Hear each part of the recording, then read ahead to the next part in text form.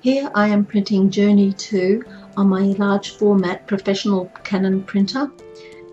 I use fine art archival quality papers at all times. Should for any reason my printer fail, then I will outsource the printing, but it will be by a professional company.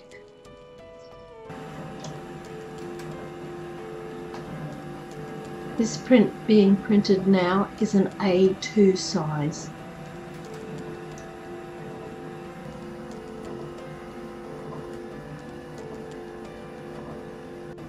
This print is an A2 size and here is an example of an A3 against an A2 size.